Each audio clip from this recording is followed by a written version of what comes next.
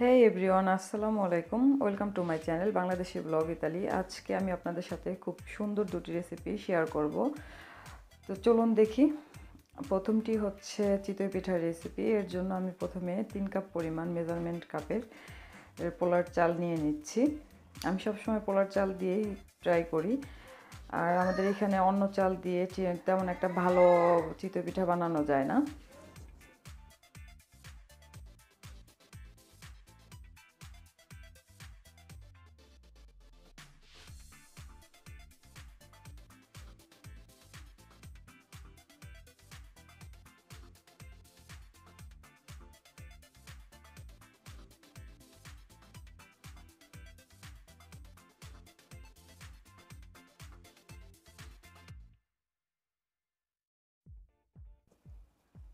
চালগুলো মাপা শেষ হয়ে গেলে আমি পরিমাপ মতো পানি দিয়ে চালগুলোকে ভিজিয়ে রাখব সারা রাতের জন্য। আপনারা চেষ্টা করবেন কমপক্ষে সাত থেকে আট ঘণ্টা ভিজিয়ে রাখতে।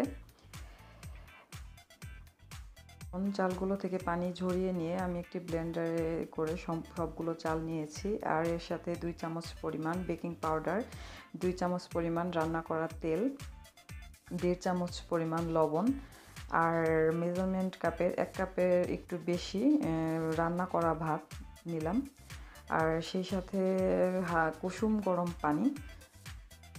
প্রথমে আমি খুব অল্প পরিমাণ নিব যতটুকু আমার দরকার হয় ব্লেন্ড করার জন্য।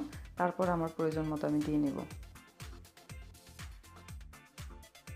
এই কাজটা আপনারা একবারে না করে দুইবারে করতে পারেন। এতে করে আপনাদের ব্লেন্ডার নষ্ট হওয়ার চান্স কম থাকবে। আর এটাই সম্পূর্ণ ডিপেন্ড করে ব্লেন্ডারের পাওয়ারের উপরে।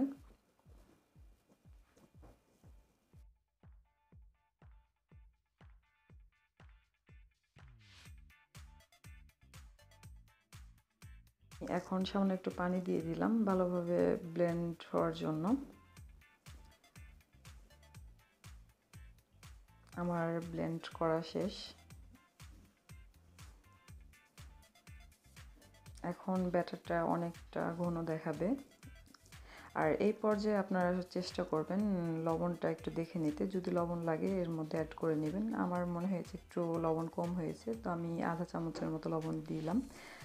এখন কুসুম গরম পানি দিয়ে একটু ব্যাটারটা রেডি করব। ভিডিওটা দেখলে আপনারা অবশ্যই বুঝতে পারবেন যে আসলে কোন পর্যায়ে আপনাদের পানিটা দেওয়া বন্ধ করতে হবে। আর চিতই পিঠার ব্যাটারটা অনেকটা প্যানকেকস ব্যাটারের চেয়েও একটু পাতলা হয়। দেখুন, ঠিক কোন পর্যায়ে পানি দেওয়া বন্ধ করবেন।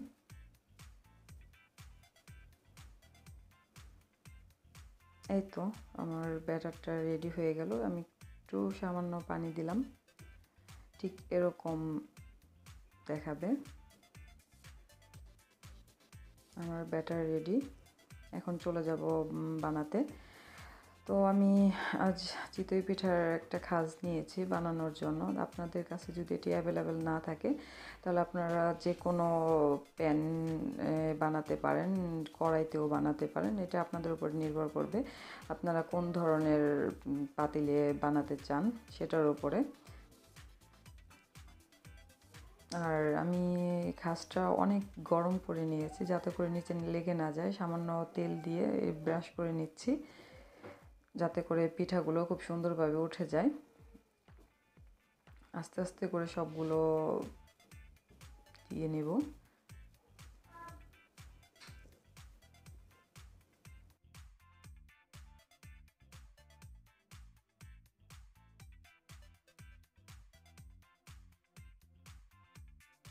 এখন আমি ঢাকনা দিয়ে দিব।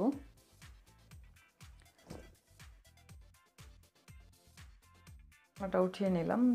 দেখতে পাচ্ছেন অনেক সুন্দরভাবে পিঠাগুলো ফুলেছে। আর আমি প্রথম পিঠাগুলোই আপনাদের দেখালাম। এখন আস্তে আস্তে করে পিঠাগুলোকে আমি তুলে নিব।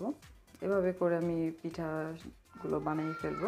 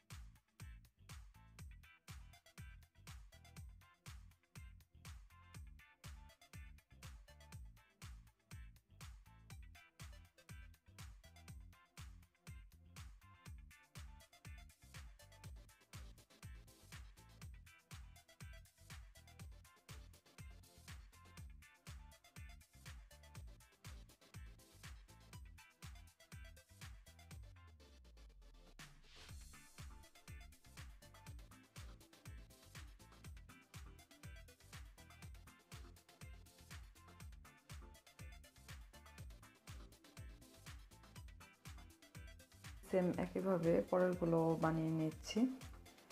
তো বানাতে বানাতে আপনাদেরকে দেখালাম যে প্রথম পিঠাগুলো কীরকম হয়েছে। আর দেশে যারা থাকে তারা অনেকে অবাক হয়, আর যে কেমন করে আমরা বিদেশে গ্যাসের চুলায় চিতই পিঠা বানিয়ে খাই অনেকে জিজ্ঞেস করে। এই তো আজকে ভিডিও করে দেখালাম যে আসলে আমরা এমন করে চিতই পিঠা বানিয়ে খাই। আর দেশের স্বাদ তো অবশ্যই পাবো না। তারপরেও চেষ্টা করি নিজেদের ট্র্যাডিশনালটা ধরে রাখার জন্য, যাতে করে আমাদের বাচ্চারাও শিখতে পারে আসলে আমাদের ট্র্যাডিশনাল খাবারগুলো কী। আর এই চিতই পিঠাটা আমার ছেলে অনেক পছন্দ করে, আমার মেয়েও মাঝে মধ্যে এক দুইটা খায়। তৈরি করে ফেললাম। এখন চলে আসলাম নেক্সট স্টেপে আমি এখন দেখাবো গরুর মাংস রান্না করা, খুবই সহজ উপায়ে। তো এর জন্য আমি একটা কড়াই নিয়েছি। এখন চুলাটা জ্বালিয়ে দিলাম। একটু গরম হলে পরিমাপ মতো তেল দিব।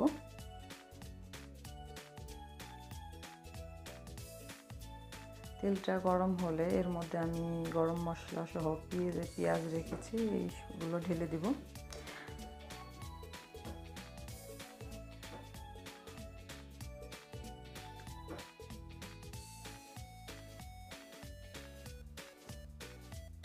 ও সরি আসলে রান্না করার সময় অনেক অ্যাক্সিডেন্টই হয়, তা আপনাদেরকে সেটাই দেখালাম। পেঁয়াজগুলা ব্রাউন কালারের মতো করে আমি ভেজে নেব। এরপরে অন্য অন্য মশলা অ্যাড করব।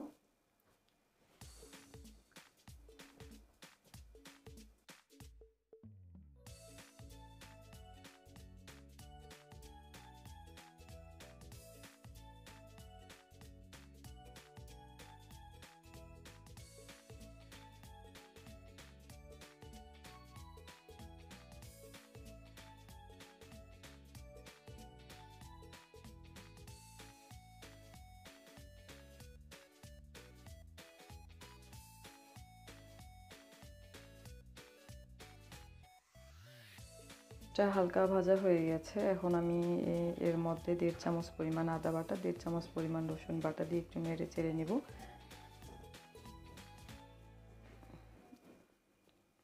এতে করে আদা রসুনের একটা সুন্দর সুগন্ধ বের হবে।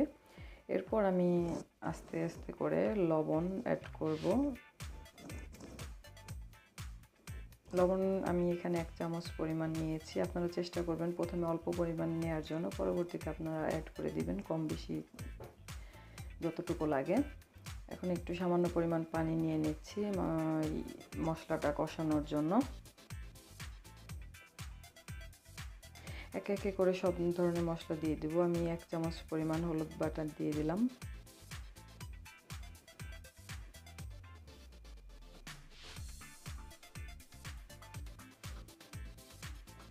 চামচ পরিমাণ মরিচের গুঁড়ো দিয়ে দিচ্ছি। আপনারা যদি একটু ঝাল পছন্দ করেন, কারণ গরুর মাংসটা ঝালই সবার কাছে ভালো লাগে। আর আমার যেহেতু বাচ্চা আছে এই জন্য আমি এক চামচ পরিমাণ আমাদের জন্য এনাফ অল্প দিলাম।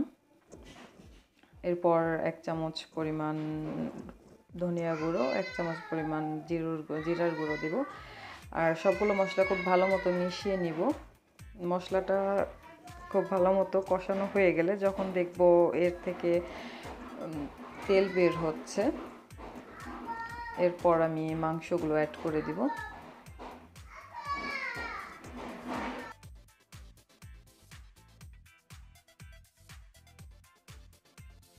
আমার মশলা কষানো প্রায় শেষ। আমি আজ এক কেজি পরিমাণ মাংস নিয়েছি। এখন খুব ভালো মতো মাংসগুলো দিয়ে কষায় নিব।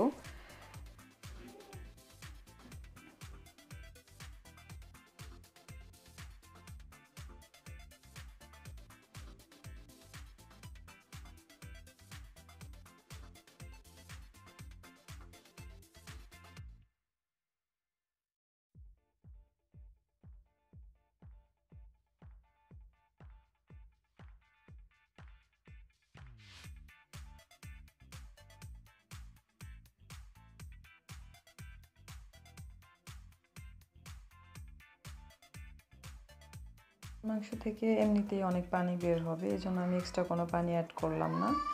এখন গরুর মাংসটা সুন্দর মতো যাতে কষানো হয়, আমি সুন্দর মতো নাড়াচাড়া করে দিয়ে এখন ঢেকে দিব দশ থেকে পনেরো মিনিটের জন্য।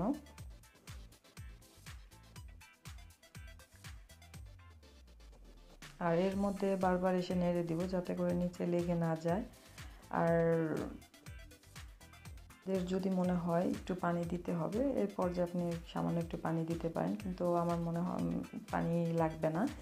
এই জন্য আমি আর কোনো পানি অ্যাড করিনি। আমি এখন গরুর মাংসটা সিদ্ধ হতে দিব। আরও দশ পনেরো মিনিটের মতো ওয়েট করব। এভাবে করে আমি মিডিয়াম জালে গরুর মাংসটা রান্না করে নিব।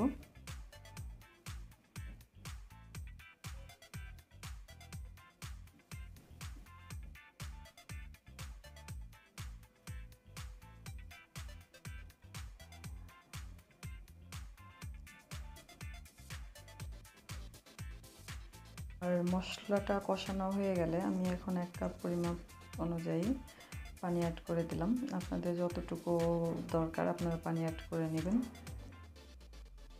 এর সাথে একটু লবণও দিয়েছি। হয়ে গেল, খুবই সুস্বাদু গরুর মাংস রান্না। আমি কিছু কাঁচামরিচ দিলাম, দুই থেকে তিন মিনিট এখন জাল করব আর এলাচির গুঁড়ো দিলাম।